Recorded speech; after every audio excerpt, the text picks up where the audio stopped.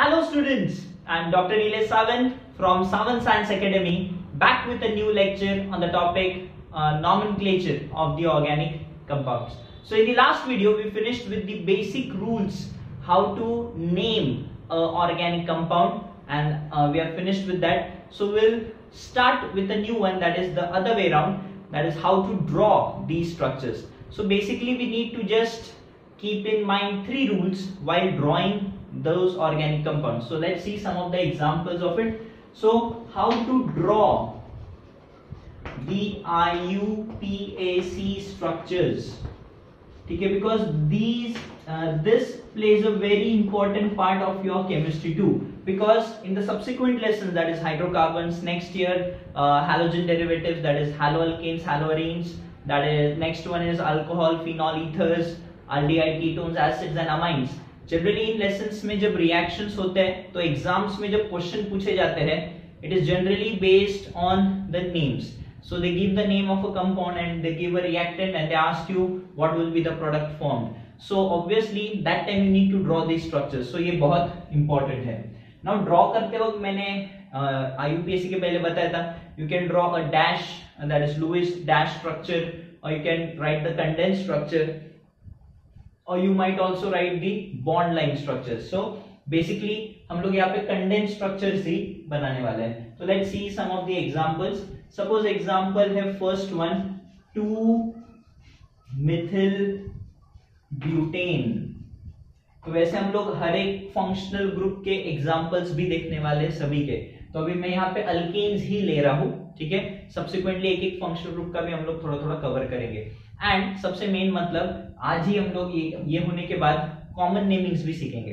तो हर जब हम फंक्शनल ग्रुप देखेंगे तो उनके जो भी कंपाउंड्स हम देखने वाले आईयूपीएससी नेम्स के साथ साथ उनके कॉमन नेम्स भी हम साइड बाय साइड देखने वाले सो so, ऐसा नहीं है कि हमें बहुत ज़्यादा पढ़ना है।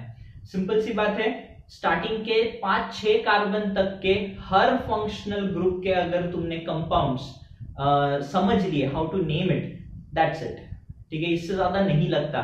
सिक्स का कॉमन नेम ऐसे भी फाइव सिक्स कार्बन तक ही फाइव कार्बन है। सिक्स भी मैं बहुत बोल रहा हूँ। फाइव कार्बन तक ही अल्किल ग्रुप्स या कंपाउंड्स को कॉमन नेम्स दिए जा सकते हैं। सिक्स के ऊपर the common name becomes it it has ambiguity means it creates confusion इसलिए तो कॉमन सिस्टम ज़्यादा इस्तेमाल नहीं होता। हम आईयूपीएसी सिस्टम ही ज़्यादा इस्तेमाल करते फॉर हायर चेन कंपाउंड्स तो बेसिकली एग्ज़ाम्स एग्जामिनर्स मॉडरेटर्स जो रहते हैं पेपर्स में भी ज़्यादातर कॉमन नेम्स जो यूज़ करते हैं, वो चार पाँच कार्बन के मतलब उसके अंदर तक के जो भी कंपाउंड्स है फॉर अलग अलग function for different functional groups generally they use that so हमको भी सिर्फ़ उतने ही कॉमन नेम्स आने चाहिए। एंड देखोगे तो कोई ज़्यादा नहीं है।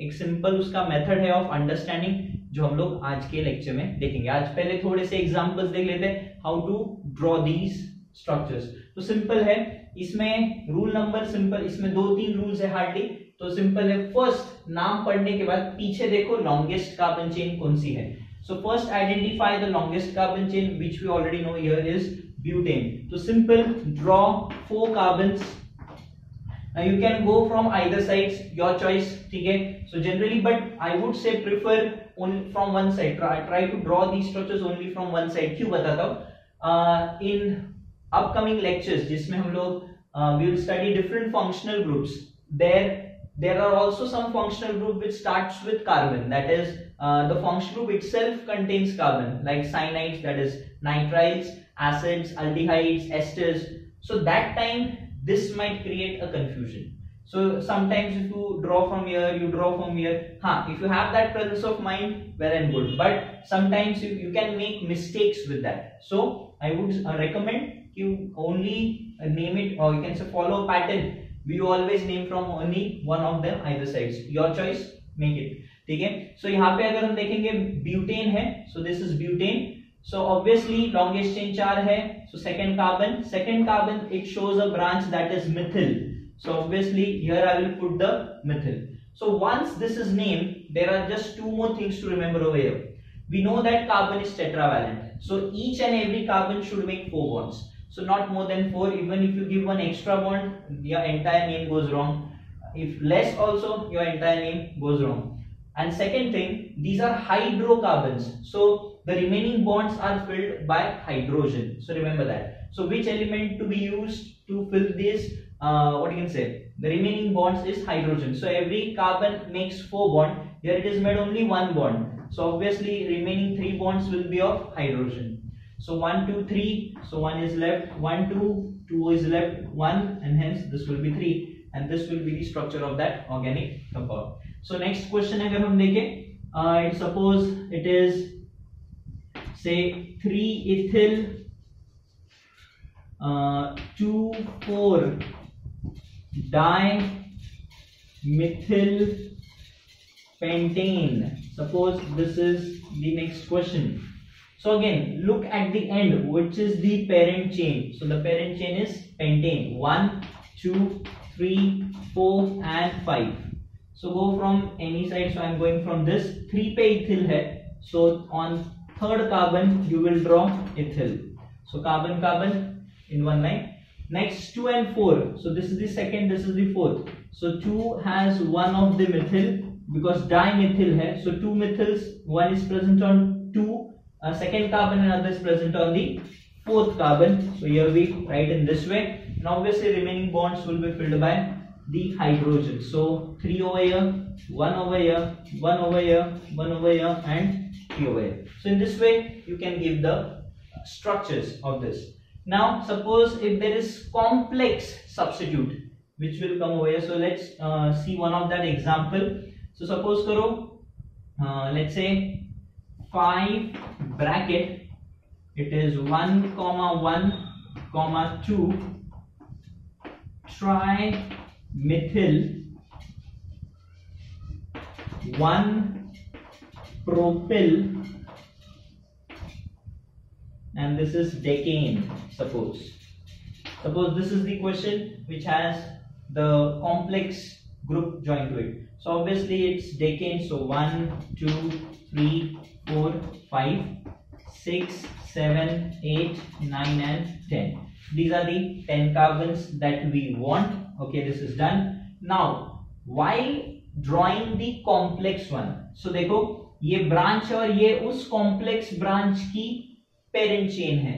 So how to name this so look directly behind to the fifth carbon of the parent chain first carbon of propyl is joined so 1 2 3 4 and 5 and it should have three carbons joined in this way so the fifth carbon of the root chain ठीक है उसको क्या लगा है the first carbon of the propyl तो जो substituent है complex substituent its first carbon is attached to the fifth one Now 1, 1, 2 trimethyl. So 1 has two methyls.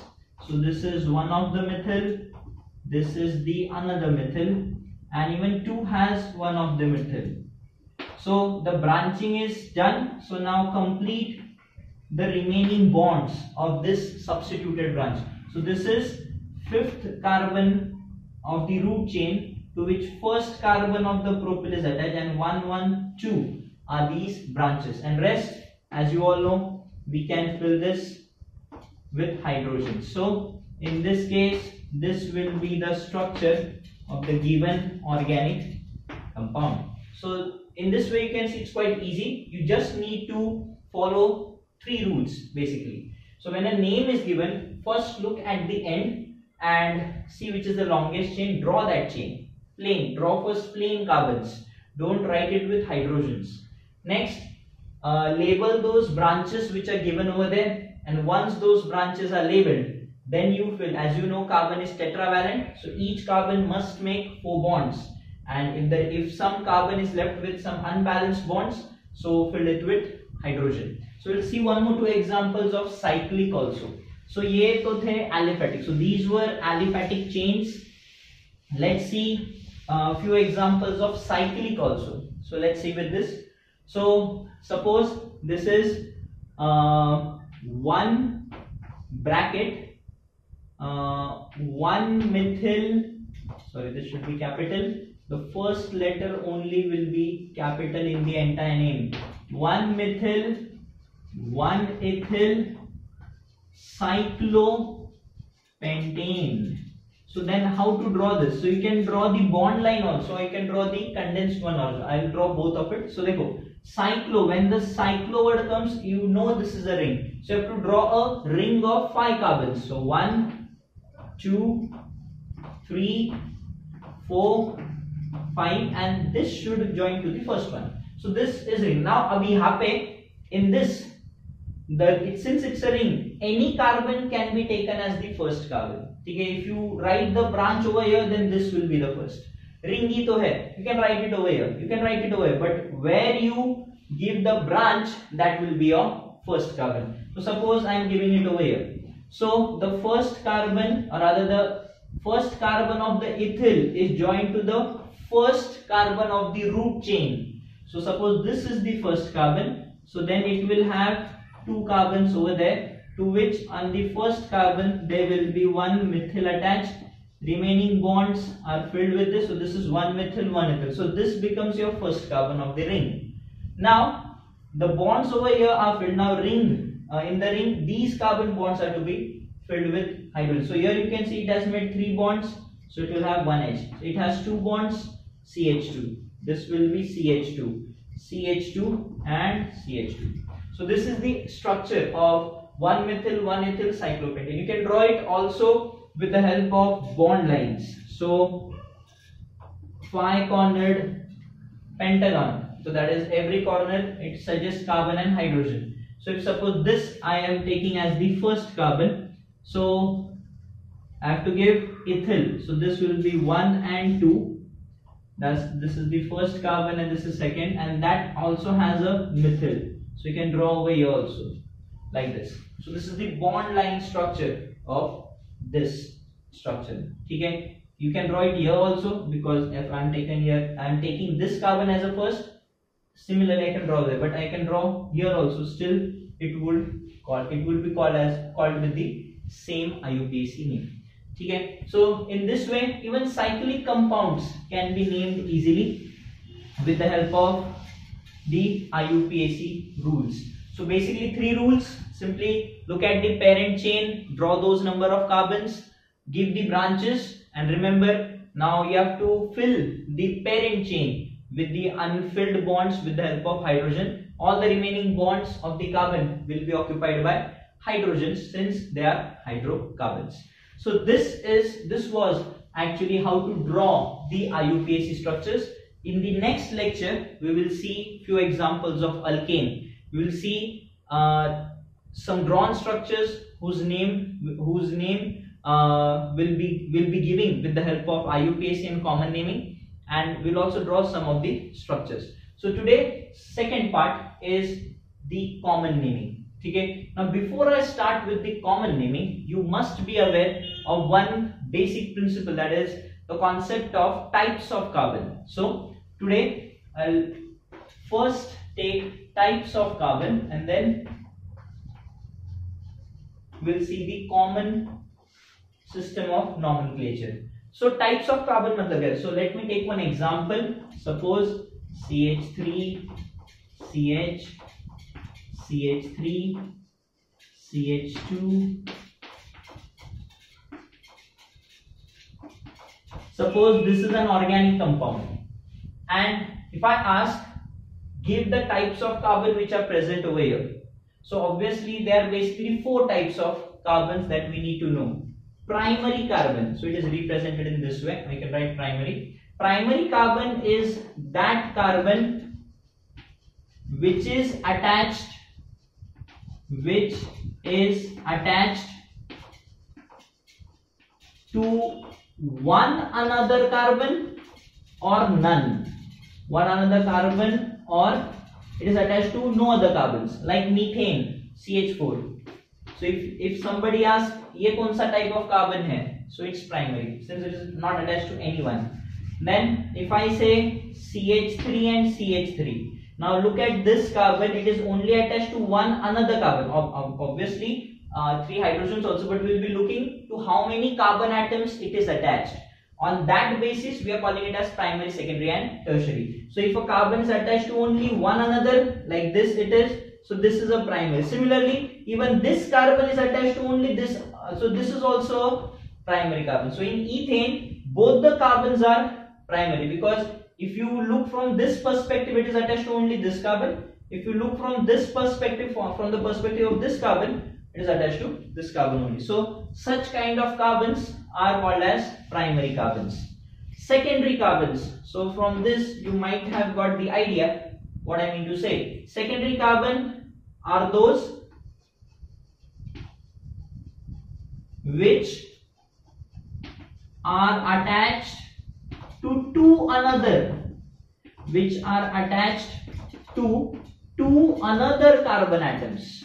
Okay, to another carbon atoms तो सिंपल है एग्जांपल जैसे if I suppose take propane CH3 CH2 CH3 now looking at this carbon this is surely primary because it is only attached to this one carbon looking at this carbon this is also primary because this is only attached to this carbon so this is also primary but have a look at this carbon this is secondary because this carbon is attached to this also and this carbon also. So the carbon atom which is attached to two another carbon atoms, we call it as secondary. Okay. Next one, let's see tertiary. So from this we can say uh, these are tertiary carbons are those which are attached to how many? To three another carbons. Okay. To three another carbon atoms so हम कहेंगे tertiary simply if I take an example over here say CH3C CH3H and this is CH3 so over here here you can see this is primary this is attached to only this one this is also primary this is only attached to this one this is also primary because this CH3 is also attached to this carbon. But look at this carbon, this will be called as tertiary because it is attached to three another carbon atoms. हाँ अगर ऐसा होगा suppose CH2, CH2, CH3. Still this will be tertiary because we are interested to how many carbon this is attached. This is attached to this, this is attached to this, this is attached to this. I don't care कि ये because they are, these are not in direct contact with this They are contact with this carbon so they will be not be counted so these carbons will not be counted over here so direct contact चाहिए direct contact वाले carbons को ही हम consider करेंगे ठीक है and obviously quaternary से तुम समझ सकते हो simply these are attached to four another carbon atoms so these are attached to four another carbon atoms so on that basis यहाँ पे हम देखते हैं अभी कौन से प्राइमरी कौन से सेकेंडरी कौन से टर्शरी ठीक है? सो फटाफट देखते हैं कौन से प्राइमरी कौन से secondary so this carbon if I say this is a primary because it is attached only one another again this one is also primary this one is also primary this one भी हम बोल सकते हैं primary attached only one another and this one will also be primary carbon but say this carbon this is attached to two another carbon atoms. So obviously this carbon will be secondary.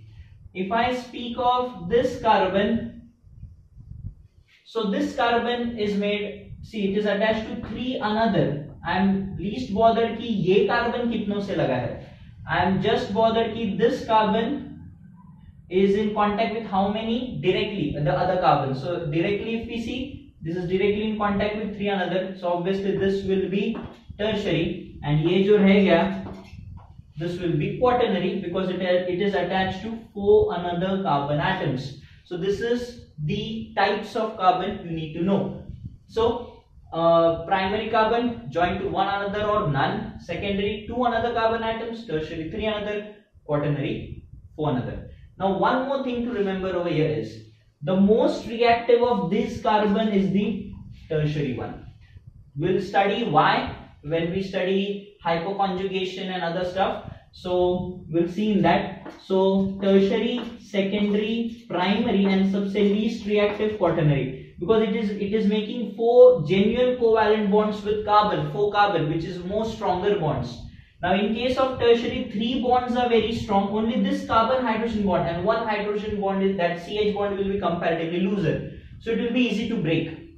over that case and we'll see why because it will lead to formation of carbocation and why tertiary carbocations are more stable so generally the order of reactivity means if suppose this alkene is to be reacted with someone this tertiary one will react the fastest okay then secondary then primary and the least will be the quaternary so, we'll see in subsequent lectures कि ये कैसे होता है। But hope so, सबको types of carbon समझे है। So, we'll move on to the common systems because वहाँ पे ये थोड़ा लगने वाला है। बिकॉज़ सम कॉमन नेमिंग्स में सेकेंडरी थर्ड ये सब आएगा तो उसके वक्त ये आसान हो जाएगा। Now after the types of carbon will see the common system ना कॉमन सिस्टम में गिन के ये चार पाँच टर्म्स है। नाउ कॉमन सिस्टम की जब हम बात करते हैं तो इसमें कौन कौन से prefixes they are always written as prefixes तो प्रीफिक्सेस में पहला आता है एन दूसरा आता है हम देखेंगे सेक तीसरा आएगा tert next one will be iso and next one will be neo तो ये पाँच ही हमें आज देखने और ये समझने हैं, ठीक है? So first will study these three n iso neo ठीक है? एंड क्योंकि रीजन ये हमें एक्सक्लूसिवली अल्केन्स में मिलेंगे प्लस दूसरे फंक्शनल ग्रुप्स में मिलता है। तो फ़र्स्ट वन देखते हैं एन एन ये प्रीफिक्स कब लगाना है? ना एन का मतलब अगर हम बोलेंगे नॉर्मल या जिसको हम बोलते हैं straight when all carbon atoms are in straight chain, continuous straight chain, तब हम उसको प्रीफिक्स लिखेंगे n एक और चीज़ generally this is written only when if chain has three or more carbon atoms, ठीक है? थ्री और मोर कार्बन एटम्स जब होंगे, तभी हम उसे एन की तरह लिखते हैं। जैसे एग्जांपल है CH3 CH2 CH2 CH3 तो कॉमन नेमिंग में देख रहे हो this is straight four carbon so it will be written as n butane this will be written as n butane अब कोई फंक्शनल ग्रुप होगा सपोज़ सो याद रखो एन कब यूज़ करोगे? जब it is a continuous chain तो written straight means यहाँ पे ऐसा लिखोगे all carbon are in continuous chain no branching strictly no branching so they are in continuous chain जब होगा, तब हम उसे what you can say normal n कहेंगे प्रीफिक्स सो so, अगर ऐसा है तो C H three C H two C H two O H अब थोड़ा हम फ़ंक्शन रूप का भी मैं कॉमन नेमिंग बता रहा हूँ तुरंत. So obviously if the function group should be attach to the first carbon only remember this either this side और दिस साइड कुछ भी फ़र्क नहीं पड़ेगा. सो so, अगर ऐसा है so this will be written as n butyl alcohol so will write the common name of that so will give it by n butyl alcohol so simple अगर bromine है तो n butyl bromide so on NH2 है तो n butyl amine similarly so n का फंडा तो सबको समझा है. So it should be just a straight chain 1 2 3 4 5 6 7 so suppose 1 2 3 4 5 6 7 8 8 की ये चेन है. So will write this as n octane will write this as n octane तो पहला वाला तो स्ट्रेट फॉरवर्ड है. दो चीज़ें सिर्फ़ याद रखनी है. जो चेन होगी, वो continue straight chain with no branch दूसरा एन तब लगाओगे व्हेन इट हैज़ थ्री और more than three carbon atoms in a straight chain functional group रहेगा तो थ्री से ही शुरू होगा एंड इसके केस में अल्केन के केस में चार से शुरू होता है। मतलब हम एन प्रोपेन नहीं लिखते। प्रोपेन में अगर देखोगे फिर तो स्ट्रेट अल्केन में तो प्रोपेन एक ही कार्बन या उसका आइसोमर बन सकता है, तीन कार्बन का।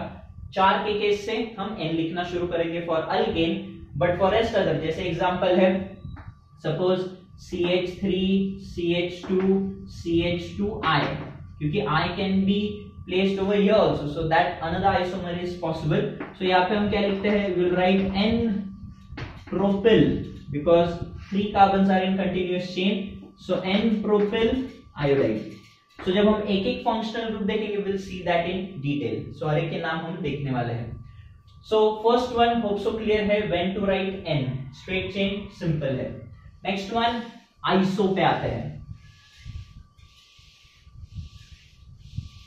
ठीक है? आइसो की अगर हम बात करें सो so, आइसो का जो डेफिनेशन दिया है वो ये दिया है कि यहाँ पे all carbon except one carbon all are in continuous chain मतलब आइसो कब लिखोगे? Except one carbon except one carbon all other others are in continuous chain. All other are in continuous chain. ठीक है? एक्सेप्ट वन कार्बन जैसे example ले लो हम ले लेते हैं जैसे ब्यूटेन के केस में. सो व्हेन आई से आइसोब्यूटेन तो क्या करना है? एक कार्बन छोड़कर बाकी सब कंटिन्यूस चेन में है. So when I say butane right only three carbons ठीक है? And obviously one carbon will be there at the branch मतलब एक चीज़ याद रखो, जो एक कार्बन है विच इज़ ऑब्वियसली एक कार्बन बोला तो मिथिल ग्रुप ही होगा it will be attach to the second carbon of the chain of from that side to second last carbon generally chain के सेकेंड या सेकेंड लास्ट कार्बन अगर वो side से ले रहे हो तो सेकेंड लास्ट कार्बन पे जब मिथिल ग्रुप लगता है हम उसे आइसो बोलते हैं। Remember this group CH3 CH CH3 second carbon को जब एक मिथिल ग्रुप लगता है चेन में हम उसे आइसो बोलते हैं। ठीक है? सो so, इसका अगर ब्रांच आएगा तो जैसा कि ये है तो आइसोब्यूटिल ब्यूटेन है दिस वन इज़ सो वैसे अगर मैं बोलूँगा आइसो पेंटेन ड्रॉ करो। सो so, पेंटेन के लिए हम क्या करेंगे? एक कार्बन कम पकड़ेंगे क्योंकि except one all other are in continuous तो चार कंटिन्यूस है और उसके सेकेंड कार्बन अब तुम बोलोगे, सर, यहाँ पे दिया तो चलेगा क्या? चलेगा ना। मैंने बोला ना दिस साइड से सेकेंड लास्ट यहाँ से सेकेंड या वो वहाँ से सेकेंड ही आ रहा है. So even this will be called as iso so इसका नाम आएगा आइसो पेंटेन ठीक है? Generally second carbon from this side या उधर से second last carbon still both will do अब जब इसमें से एक कार्बन हटा दो तो यही ब्रांच बन जाएगा आइसोब्यूटिल, ठीक है? एंड हमेशा याद रखो, वो एच इसी प्राइमरी कार्बन से ही जाएगा। तब हम इसे इस ब्रांच को आइसोब्यूटिल ऐसा बोलते हैं, ठीक है? सो रिमेंबर दिस यहाँ से भी, यहाँ से जाएगा primary carbon of the chain वहाँ से कुछ नहीं, ये ग्रुप अनअल्टर्ड रहेगा, यहाँ से जाएगा। So this will be known as isopentyl. तो ये थोड़ा याद रखना है। अब इसमें वापस कंफ्यूजन होता है। मतलब अभी अगर यहाँ से होगा तो मैं क्या नाम दूँगा? तो फिर ऐसे वक्त में सेकेंडरी भी बोल सकते थे तुम आइसो भी बोल उधर फिर मैंने बोला, पाँच कार्बन के ऊपर से थोड़ा कॉमन नेम में फिर दिक्कत आनी शुरू होती है। अब हम आगे देखेंगे, क्योंकि अपना अभी तक सेकेंडरी वगैरह हुआ नहीं है। इवेंचुअली देखेंगे। So this is how you need to write iso अब ये अल्केन में देख लिया। अब कोई फंक्शनल ग्रुप में आता है तो क्या होगा? सपोज़ जैसे तीन कार्बन ये वाला सबसे कंफ्यूजिंग है। C H three C H and ये सेकेंड कार्बन को ही सी एच थ्री और यहाँ पे ओ OH लगा है। और टेक्निकली लॉन्गेस्ट चेन तो तीन की है बट सेकेंड को एक मिथिल लगाया वो अलग बात है कि वो चेन का ही मिथिल है बट सेकेंड कार्बन को मिथिल लगा चाहिए। तो यहाँ पे देखो ना C H three C H C H three group है। ये ग्रुप आ जाए आइसो ठीक है? अब ये यहाँ पे डायरेक्टली लगाए तो हम इसे बोलेंगे आइसोप्रोपिल अल्कोहल ठीक है? हम इसे क्या नाम देते हैं? We put the prefix iso we will write propyl and obviously will write alcohol to go with it hope so समझा सेम अगर CH3 CH CH3 now this is CH2Cl अब देख सकते हो, वापस यहाँ पे CH3 CH CH3 है। So this is iso second carbon पे मिथिल चाहिए। बाकी ये फ़र्स्ट पे ही आएगा। So this will be known as iso butyl chloride ठीक है? So everyone getting this so this is iso butyl chloride सबको समझा है? आइसो क्या होता है? So in this way we can give iso next one is neo next one is neo. Neo में simple rule second carbon पे दो methyl मतलब जो भी नाम होगा except two carbon other will be in continuous chain and वो जो दो कार्बन है, वो सेकेंड कार्बन को ही लगने चाहिए। तो सपोज़ करो जैसे एग्जांपल इधर दिया है except two carbon all other in continuous chain होने चाहिए। ठीक है? सो एग्जांपल अगर मैं लेता हूँ नियोपेंटेन सपोज़ तो पेंटेन बोला है तो पाँच, उसमें से दो कम करो मतलब लॉन्गेस्ट चेन तीन की ही होगी, और उसके सेकेंड कार्बन को दो मिथिल लगा दो। So this will be known as neopentane तो उसमें तुम देख रहे हो, एक क्वार्टरनरी कार्बन आएगा ही आएगा, और वो क्वार्टरनरी कार्बन सेकेंड कार्बन ही होगा। ठीक है?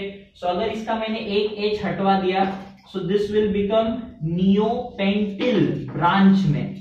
ठीक है? इसको हम क्या बोलेंगे? क्योंकि इधर से ही जा सकता है। यहाँ से तो कुछ जाने जैसा हाइड्रोजन है नहीं। यहाँ से भी क्या यहाँ से भी कहीं से भी एक, सभी सी एच थ्री है। एक एच हटा दो तो इसी ब्रांच को हम नियो पेंटिल बोलेंगे। ऑब्वियसली अगर इसमें ये एक है तो सपोज़ अगेन अगर मैंने बोला नियो हेक्सेन तो हेक्सेन बोला है तो चार मैंने बोला, हेक्सेन सिक्स, दो कम करो, चार कार्बन स्ट्रेट में निकालो। सेकेंड कार्बन पे ही तुम्हें दो मिथिल देने हैं। This will be neo hexane अब इसके आगे जनरली तो जाने की नौबत नहीं आएगी हमें, ठीक है? नियो हेक्टेन बोला तो इसमें एक और C H two C H three C H three की जगह C H two C H three डाल दो। नियो हेप्टेन कहलाया जाएगा। तो होप सो सबको समझा है नियो भी कैसे लिखते तो उसमें क्वार्टरनरी कार्बन आएगा at the second carbon of the alkane chain ठीक है? So this is how you need to write neo अब अगले दो सिंपल है. Sec and tert sec stands for secondary carbon. So, अब यहाँ पे sec tert हम जनरली यूज़ करते हैं for common naming of functional groups ठीक है? अल्केन्स में इनका नाम, इनका कंसिडरेशन आएगा नहीं ठीक है? सो सेकेंडरी जब हम बात कर रहे हैं मतलब सेकेंडरी कार्बन एटम को वो ग्रुप लगा होगा, या फंक्शनल ग्रुप लगा होगा। Secondary carbon atom to which functional group is attached ठीक है? जनरली वो देखने को मिलेगा। जैसे एग्जांपल है one two three and four suppose ये है। एंड इसके सेकेंड कार्बन का एक बॉन्ड खाली हो गया है, जहाँ पे ओ OH अगर हम देखे लगाए so you can see this is a secondary carbon इसको दो कार्बन लगे और ये फंक्शनल ग्रुप अब देखोगे तो total carbon are butyl so will write it as sec butyl alcohol sec butyl alcohol समझा? नेक्स्ट अगर हम बात करें सी एच थ्री सी अगर ऐसा भी एक हम देखने को मिलता है secondary C H C H three suppose propyl है, और यहाँ पे सपोज़ सी एल लगा है so this will be sec propyl chloride this will be called as sec propyl chloride सबको समझा सो so, जब सेकेंडरी कार्बन को कोई फंक्शनल ग्रुप लगा है तो ऑब्वियसली वो लिखकर हम लोग आगे अल्किल ग्रुप हम लिखेंगे. सबको समझा है? So this is sec and tert simple सी बात है when a functional group is attach to a tertiary carbon ठीक है? Tert is a prefix written when functional group attached to sec uh, sorry to a tertiary carbon जैसे example CH3 C CH3 CH3 तो सब जन देख सकते हैं this is a tertiary carbon so अगर इसको अल्कोहल लगा दिया जाए so total carbon four so उसके आगे तुम लोग प्रीफिक्स क्या लगाओगे? Tert this will be butyl tert butyl and obviously suffix लगेगा अल्कोहल सो ये सब कॉमन नेमिंग है. याद रखो, इन सब का इस्तेमाल कॉमन नेमिंग में होता है. आईयूपीएसी भी कुछ स्ट्रक्चर्स में आइसोप्रोपिल नियो पेंटिल ऐसे दिए गए, पर मैंने बताया था वो ओल्ड कन्वेंशन में था. आजकल हम उन्हें नए तरीके से लिखते हैं तो वो मैंने तुम्हें ऑलरेडी सिखाया हुआ है. So I have already taught you those naming of the complex substitutes with the new IUPAC naming. So today generally these are not used but these common names are used while we study with this functional groups तो hope so student सबको ये कॉमन नेमिंग सबको समझा है मिलते हैं नेक्स्ट वीडियो में जिसमें हम एक एक फंक्शनल ग्रुप देखेंगे जिसमें अल्केन होगा एंड अल्केन के हम कुछ एग्जांपल्स करेंगे and alkene so guys hit the like button subscribe this channel share it with your friends thank you